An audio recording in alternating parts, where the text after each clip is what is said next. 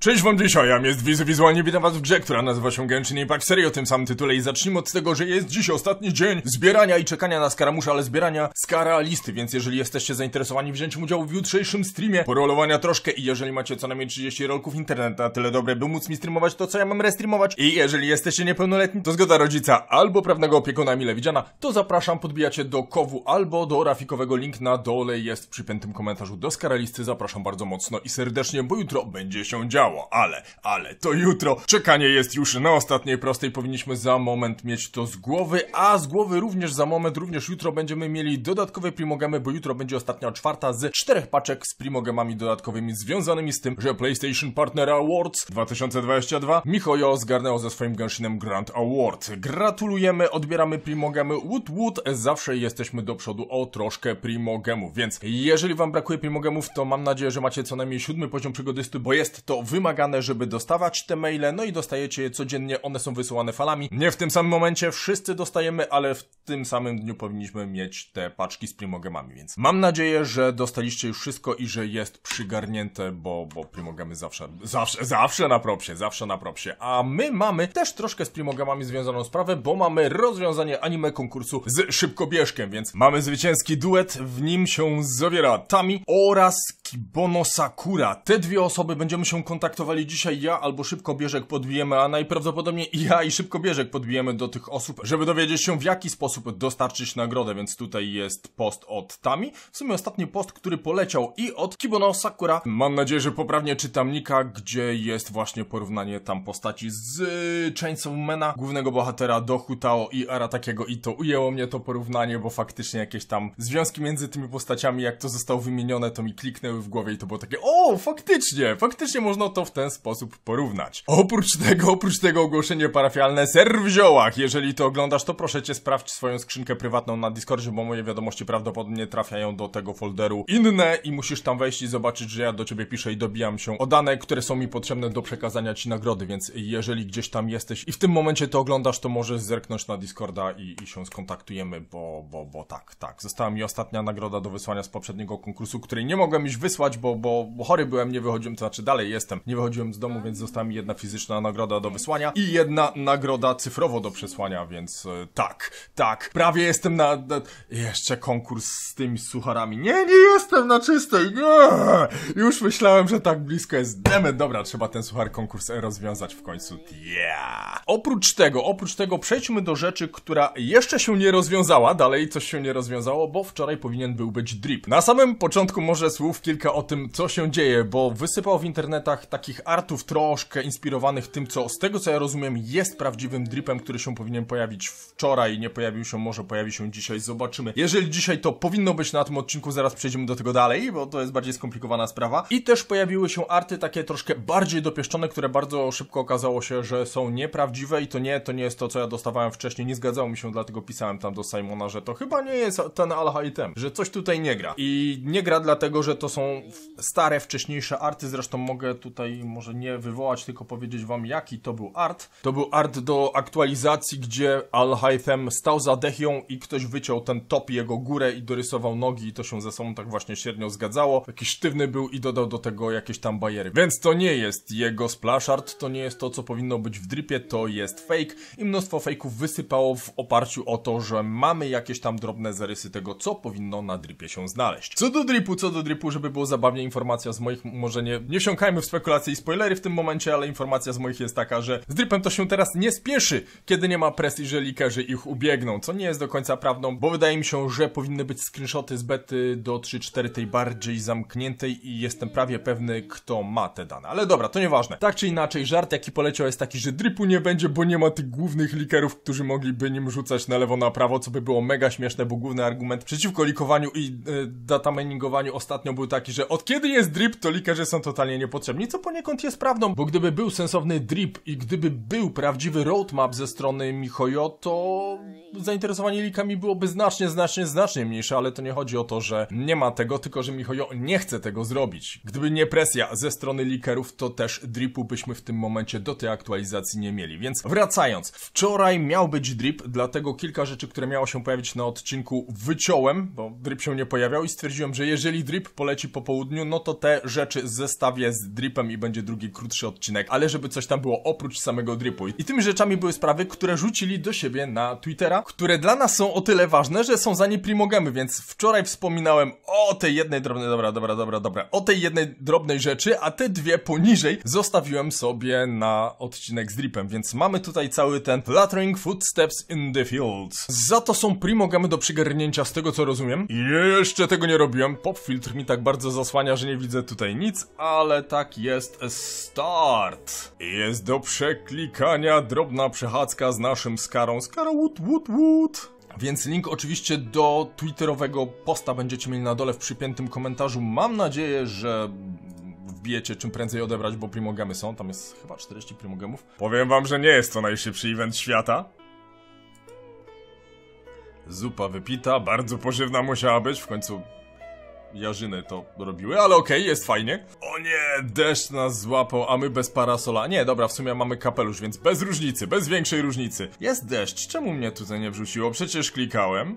I jest tapeta, która zresztą była miniaturą wczorajszego odcinka, więc jak najbardziej tak, claim! I są primogamy kilka dodatkowych rzeczy dla nas, które powinny przyjść na maila. Jest jakiś sensowny koniec tej podróży? Czy on tak będzie na przykład się zapętlał zaraz? Bo to wygląda jakby on jeszcze celowo gdzieś szedł, ale nie, to się zapętliło i doszliśmy z powrotem do naszego motyla. Więc to jest pierwszy evencik, który możecie sobie klepnąć, tak jak mówię, link na dole w przypiętym komentarzu do tego posta jest. Jest też ten drugi z kartami związany, który zanim został wrzucony z niego właśnie wyciekały te karty, kiedy ja mówiłem o tym, że był wyciek, to z waszej perspektywy ten event już był live, więc moje informacje były przeterminowane, ale mamy Duelist Rising. Nowy evencik związany z karczanką, który działa tylko na smartfonach, więc musicie wziąć telefon telefon i zeskanować ten QR kod i sobie tam ograć to i przygarnąć primogamy i różne inne surowce, więc dwa eventy są, w nich primogamy do przygarnięcia. Mam nadzieję, że no, to będzie powyżej tego, co potrzebujecie, żeby zdobyć swoje ukochane postacie. A my przeskoczmy do kolejnej informacji, która okazała się poprawna pomimo błędnego tłumaczenia i zamieszania w tym temacie, czyli kilka dni temu mówiłem wam, że 6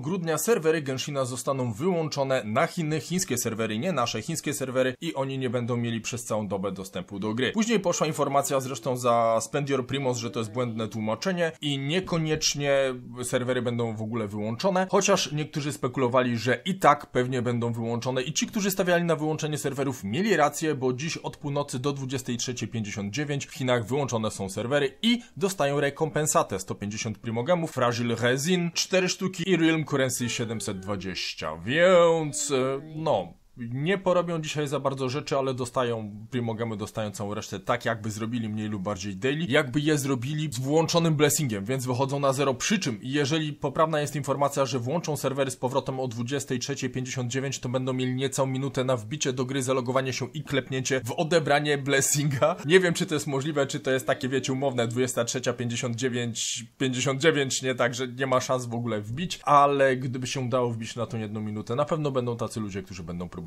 i jeżeli to było możliwe, to pewnie ktoś zrobi jakiegoś screena i w internety to poleci, więc e, tia. No i wygląda na to, że dripu dziś nie będzie. To jest ten moment w odcinku, kiedy powinien być drip. Czekałem, zostawiłem właśnie tutaj miejsce, żeby dograć, bo przed 11 raczej miało go nie być. Ewentualnie miał być o 12, jest 12 i wydaje mi się, że jest to związane z tym, że mamy żałobę w Chinach, że oni tam nie wrzucają żadnych informacji, więc, więc wrzucanie dripu tylko na Europę, resztę świata, Amerykę byłoby bez sensu, bo to jest gra głównie kierowana do Chińczyków, więc jeżeli oni tam nie mogą grać, jeżeli oni tam nie mają włączonych społecznościówek dzisiaj, jest żałoba, zajmują się tylko jednym tematem, to byłoby niesmaczne dawać coś do jakiejś gierki, co oznacza, że najprawdopodobniej brak dripu jest związany z tym, że no, jest żałoba, co oznacza, że dostaniemy jakieś informacje może jutro, może pojutrze, trudno powiedzieć z wyprzedzeniem kiedy i jak dokładnie. Mam nadzieję, że nie będzie jakiegoś dzikiego szaleństwa, bo jutro wiadomo, nowa aktualizacja, więc nie jest to najlepszy moment na drip, pojutrze ja jestem u dentysty, więc nie jest to dla mnie najlepszy moment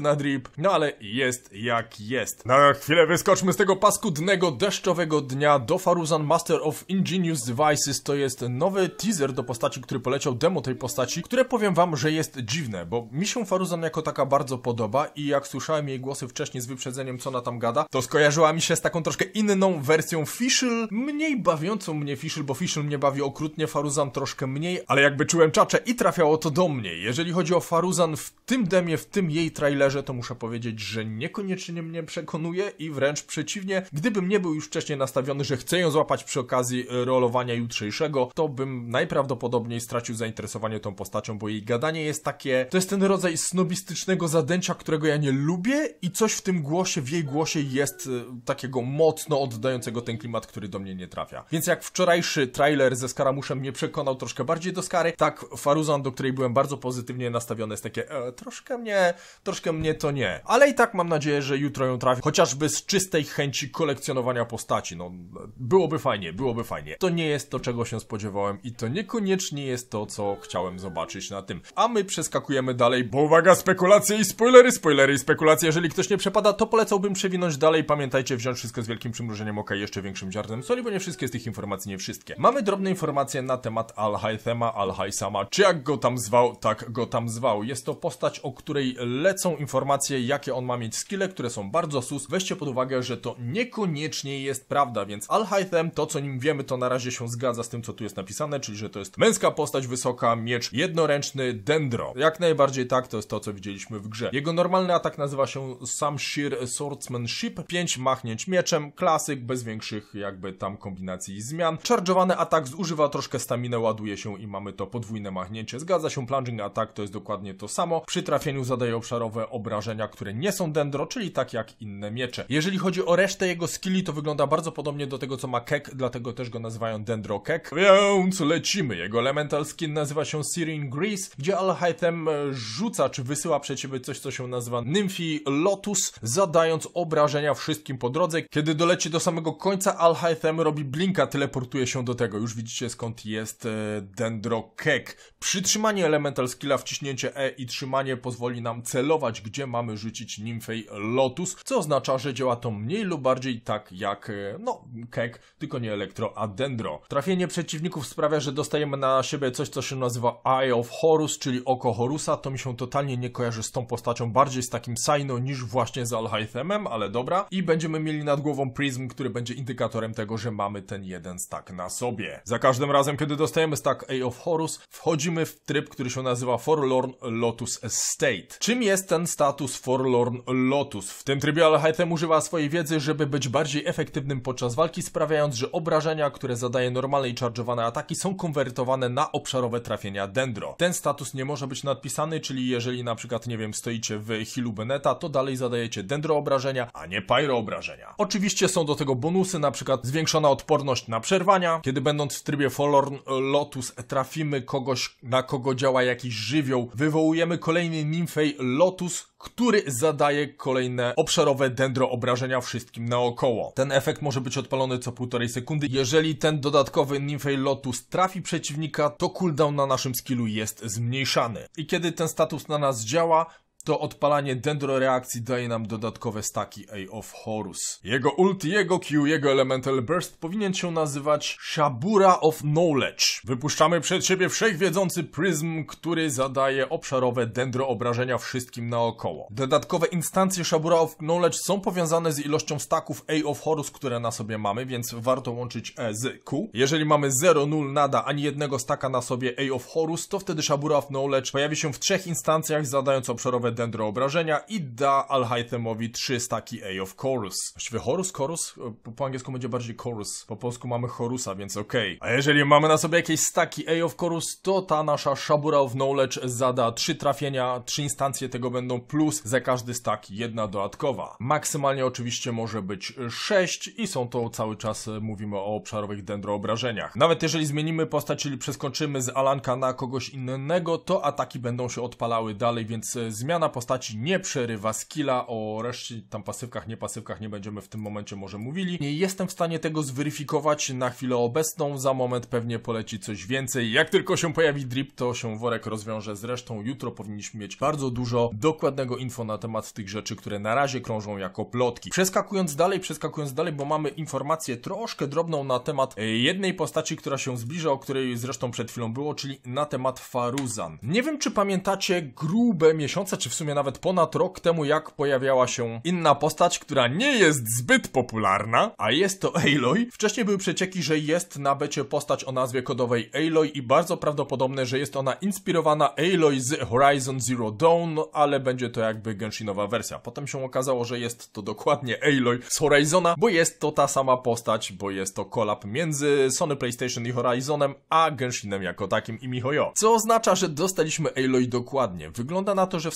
starszych notatkach pojawiła się też postać o nazwie kodowej Hatsune Miku. I jeżeli dobrze rozumiem, to to była nazwa kodowa na Faruzan właśnie, czyli ludzie, którzy zobaczyli Faruzan na przeciekach jeszcze wtedy wcześniej, że ojej, ona wygląda jak Mikuśka, ona wygląda jak Hatsune Miku, to ona na jakimś etapie bardzo możliwe, że miała nazwę kodową Hatsune Miku. Zresztą na temat tego liku dostałem informację, że możliwy był chyba kolaps Hatsune Miku i Genshinem, który nie doszedł do skutku. Wygląda na to, że to była błędna interpretacja danych po prostu na Faruzan. Na jakimś etapie ktoś albo dla żartu, albo naprawdę faktycznie nadał nazwę kodową Hatsune Miku dla Faruzan. To z mojej strony jest hitcher, bo jeżeli to jest prawda i nikt mnie nie wkręca, to, to mi się stare notatki zgadzają, że może będzie kolab, może będzie coś z Hatsune Miku. Takie, aha, dobra, dobra, dobra, poweryfikuję, bo może to będzie miało sens w przyszłości. I teraz jak patrzę na Faruzan, to faktycznie ma sens, więc okej, okay, zobaczymy jak ona wejdzie, bo jak zacznie śpiewać jeszcze, ale nie wydaje mi się, żeby to była postać śpiewająca. Gdyby ona jeszcze śpiewała do tego, to już w ogóle nie byłoby wątpliwości. Dobra ludziska, mamy w chwili obecnej dwa konkursy. Jest konkurs z Dakimakurą, świąteczny konkurs z Dakimakurą, więc jeżeli tworzycie jakieś arty z klimatem świątecznym związane, z Genshinem albo z innym anime, tudzież mangą, albo inną gierką, w której anime klimaty są, to wszelkie informacje macie na dole w przypiętym komentarzu. Jak polecicie, to możecie zawalczyć o Dakimakurę. Taką wielką, fajną Dakimakurę, tylko z waszym artem nadrukowanym na niej. I tam jest jeszcze cała masa dodatkowych informacji na dole dla was. Jest też drugi konkurs tej-dubowy, aktualnie trwający, a w nim do zgarnięcia blessingi i naklejeczki do wysłania do zwycięzców. Mam nadzieję, że jak będzie rozwiązanie tamtego konkursu, to już będę totalnie zdrowy i będę mógł bez opóźnień wysyłać zwycięzcom, więc taki jest plan, tak trzymam kciuki. Dzisiejsza miejscówka została podesłana przez H1SE. Hajse, jakoś tak. Pozdrawiam cię mocno i serdecznie, jesteś osą, miejscóweczka bardzo fajna, dawno nas tu nie było. Pamiętajcie, że wciąż trwa Daily Check-in Web Event, jeżeli otaczacie wszystko od początku miesiąca, to dziś jest dzień szósty, a w nim te gorsze szmaty z Expem i jeżeli będziecie otaczali wszystko codziennie, to dnia 4, 11 i 18 czekają na was primogemy. Trzy paczki po 20 primogemów każdej, łącznie 60, tak jakby dodatkowe daily. Nie zapomnijcie również wbić do plecaka do zakładki z gadżetami, żeby sprawdzić jak długi cooldown pozostał wam na Parametric Transformerze. A ja korzystając z okazji chciałem bardzo mocno i serdecznie podziękować wszystkim wspierającym. Jesteście fantastyczni. Wasza magia jest potężna, lisi magowie, wasza magia jest potężna, jesteście osom, lisi arcymagowie, wasza magia jest arcypotężna, jesteście arcyosom i lisi twitchernauci. Wasza magia jest twitcher potężna, jesteście twitcherosom. Widzimy się jutro na Twitchu